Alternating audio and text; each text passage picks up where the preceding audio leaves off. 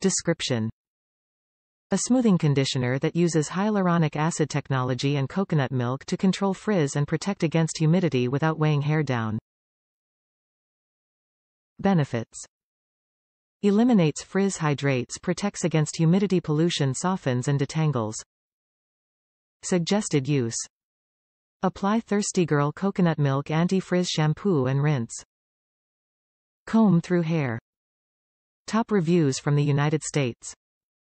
I've been looking for a great conditioner, this is it. I have thick curly hair that can be frizzy and dry. This is by far the best conditioner I've ever used. Worth the extra cost. Smells lovely too. Very moisturizing.